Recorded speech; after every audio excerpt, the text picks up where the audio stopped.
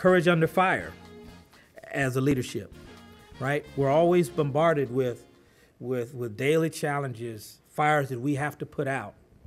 And we have to have that courage under fire to jump in and have those very difficult discussions and decisions and conversations.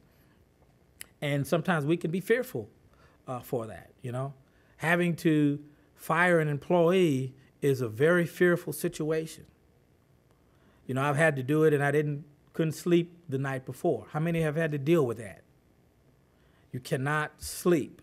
That's a human thing. That just says you are human. But don't let that compromise, you know, the business uh, acumen that you have to maintain. And so don't allow that fear to to control you. I heard a, a guy say one time if there's no enemy within, which is the fear, the enemy outside can do you no harm. So let's continue to think about leadership in that way. You will get the link from us. I want you to watch the video. I really like that video. And actually, Harvard has an entire, you know, I'm thinking I need to look at some more of these. So there was a link that said it was video at harvardbusinessschool.org. I'm going to go and pull that up and see how many other videos are in there. You know, I'm certainly going to talk about leadership and other and other things, but let's maintain our need and our greed for this information because it makes us better.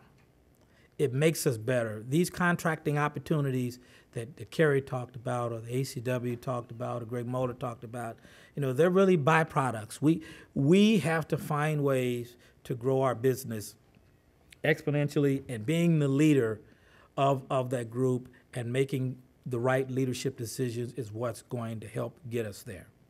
Knowing when to say no. Just because it's bidding next week does not mean we bid it. It doesn't mean you bid it. It means they've notified you that it's there. You still have to go through your own process. The whole remember me talking about the go no go process? You have to have that so you know whether or not you should be bidding it. And so as as I close real quick, I, I implemented three words into my own process. That as I approach each day, when I wake up in the morning, I approach the day because I don't know all the time what's in front of me. But there are three things that I approach that day with every day poise, precision, and audacity. When I rise in the morning, not only am I running, as I told you guys before, but I'm executing poise, precision, and audacity.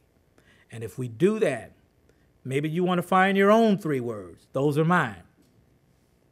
But find something that's motivating you every day when you wake up.